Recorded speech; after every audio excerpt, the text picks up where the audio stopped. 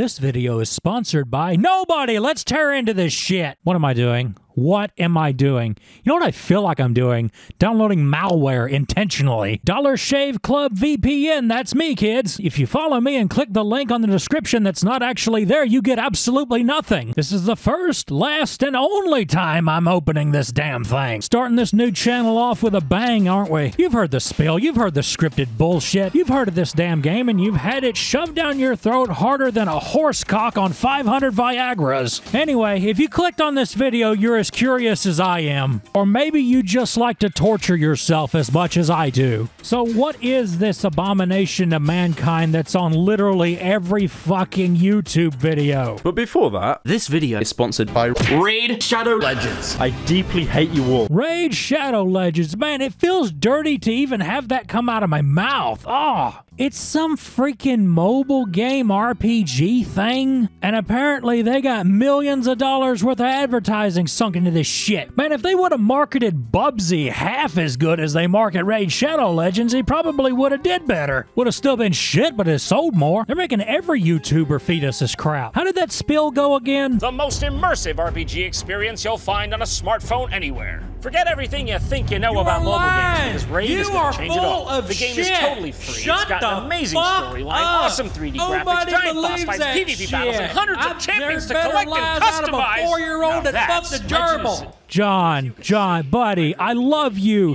but this video is literally called Buying Dumb Things Online. So let's dive into this rabbit hole that is Raid Shadow Legends. Oh, I hate even saying it.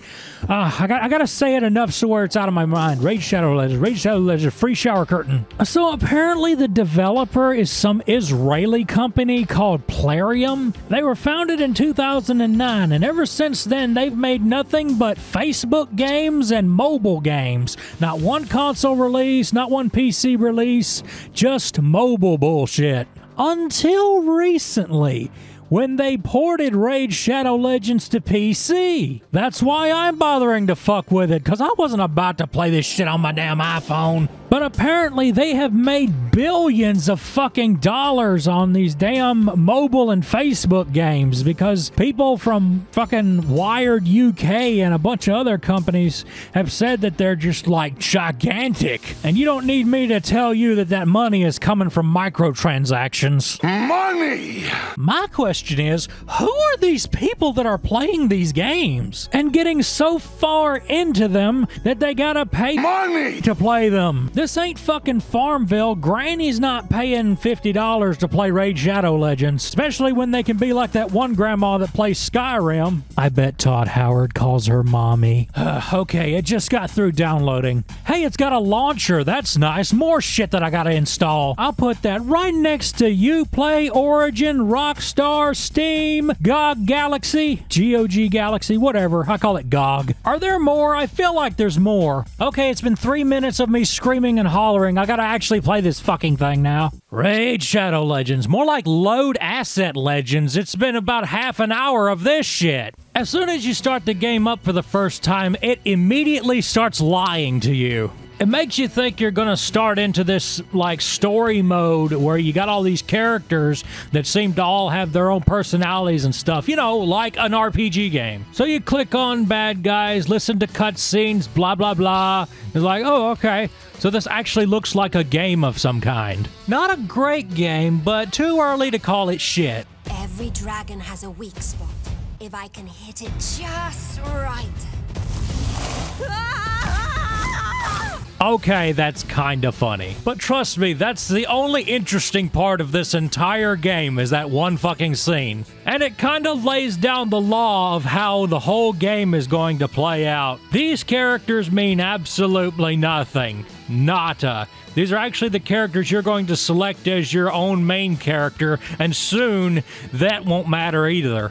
Because throughout the game, you're going to collect a shitload of other characters, and no, they won't have any personality either. So, what all of these little stats mean? Well, Whoa, I'm not reading all that. You might make fun of me for saying that, but soon you'll realize I didn't have to read any of this. You literally do not even have to know how to play the game to play the game. What's funny is it does have a story, but it's just like copy paste World of Warcraft fanfiction dot text. Many moons had passed since the War of Duesenberg, headed by the great evil Lord Maserati. But within the ruins of the great village Dingleberry, one chosen hero with a peepee hard as a sword would swing the magic cock to defeat Lord Maserati and save the kingdom of Duesenberger. The brave knight, sir, asks for your money a lot. It does have a battle system of sorts. In fact, it looks like they put a lot of effort into it. That's the thing. Everything looks complicated,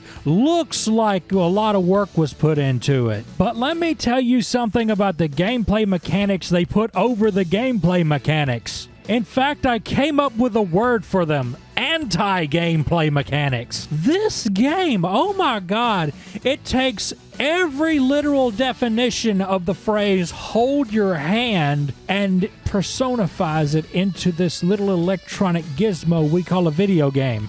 There is a long ass tutorial, which, by the way, I had to stop playing because the game had to download some more. I was halfway through the tutorial and had to do this. But during the tutorial, it tells you all about these battle and gameplay mechanics that you gotta go through and how the enemies work and how your attacks work and how the inventory works, blah, blah, blah, blah, blah. And I'm thinking, wow, they really put some work into this. There's a lot going on in this game. Yes, there is, but oh, you ain't gotta worry about all that. Just put it on auto. Yes, auto. Yeah, it's not the first RPG to have an auto feature on it. Even Earthbound had that. But it was a little bit more slow paced and you still had to keep an eye on it somewhat. This game, not only can you turn it on auto, but you can also turn up the speed of the game so it will play faster. Imagine playing Pokemon on an emulator. Yeah, I could just stop right there. And you went in the emulation settings and turned the emulator speed all the way up. And then you just turn on auto fire for one of the buttons, like the A button or something. And then you sit something really heavy on top of that one button and go take a shit. Or if I just made videos that are nothing but a furry with his arms crossed. And if that ain't enough, get ready for this. They make it to where it's easy for you to farm experience points. You see this right here that says multi battle on it? You can play the same stage over and over and over, up to 15 times over, and it will even keep going if all your characters die. It will just play the next turn again. You've heard of Luigi winning by doing absolutely nothing? That's this entire game. Set it on auto and let the game play itself. You don't need to put any effort into this. You don't have to strategize. You're too powerful anyway, so your regular attacks just work. You literally do not have to try in this game at all. I don't have to try making these videos, but I still try to make them look somewhat visually appealing. I gotta do something. I talk too slow and too long. The game holds your hand and does everything for you, even upgrading your weapons. It's got this thing that's kind of a gamble where you gamble some of your money, the in game money, mind you, but we'll get to that in a bit. And if the shit works, you upgrade your weapon to a different level. Technically, you do still have to click on a few things to get to the weapon upgrade, but you can like make it automatically upgrade to a certain level. So even if it fails a couple of times, it will just try again. So there's almost like no no reason to just steadily push the button and gamble. And it takes even more of that sense of accomplishment out of this game. Because it's not you doing it, it's the game. The game is playing itself. Technically, the game doesn't need you at all. That's the future of gaming right there. Games that play theirself. They don't even need you. Just like my parents didn't want me. And at the very start of the game, you can just go ahead and make yourself completely OP. You can fuck up the balance of the difficulty and everything like that by upgrading the weapons until they can't be upgraded no more. Cut on that multi-battle bullshit and boom, the game just plays. The game hardly ever needs you at all. I tell you what the game wants from you from time to time. Yeah, you was waiting for me to get to that, wasn't you? I must have clicked X on 20 windows of shit trying to sell me these little gems and bullshit for the game like $30, $40, $50. Look, you could spend $100 on this game in multiple ways. What the shit? No wonder these people make so much damn money. These fucking microtransaction things are just a bigger cash cow than arcade machines ever were. Have you ever thought about that?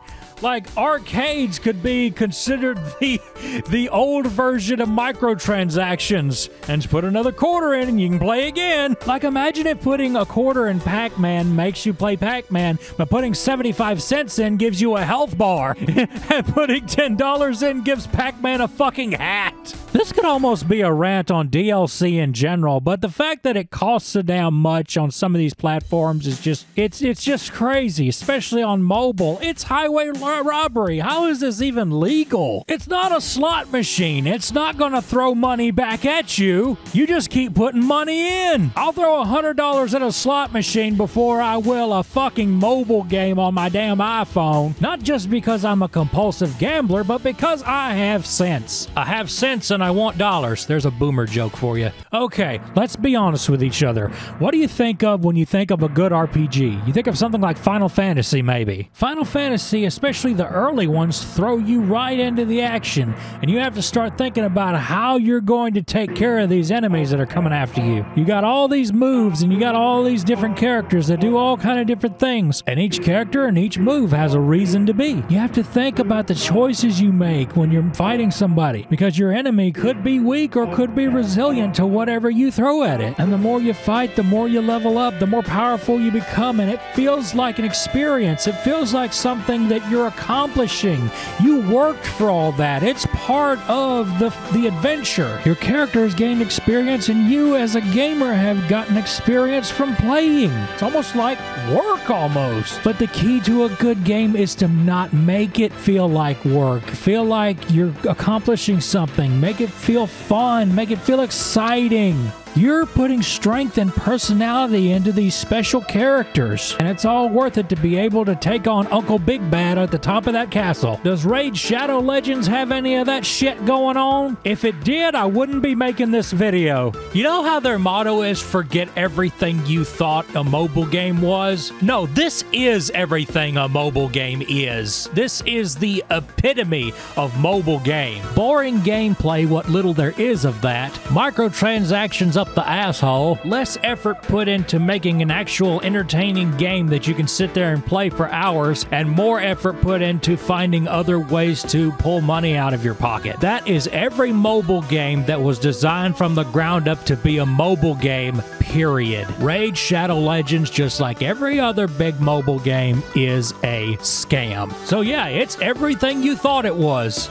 And I wasted a whole bunch of my life sitting here recording this video, recording gameplay footage for this video, just to tell you what you already thought this game was. Every one of you YouTubers who backed this game should be ashamed of yourself. And I know I'm losing an opportunity to get money here, but let's be honest, they weren't going to sponsor me. My accent is not their demographic. Maybe I'll holler at World of Tanks next, make them mad at me. But anyway, that's me. I'm Stu. That's this video. Goodbye, everybody. I hope you liked this old video, and if you liked it, uh, let me here. Let me hear you in the comments section. Give me some likes and shit. Get on there in the comments. Tell me what you like, what you don't like. See what I can change. You can find my socials there in the description. I do streams now and again, and if you want to donate some money to me to say, hey, I like your shit, you can put it on Ko-fi. That's K-O-F-I Ko-fi. I don't do Patreon, but I'm thinking about it. Let's just see where the channel goes. But I'm gonna get out of here. You be good, all right? We'll see you.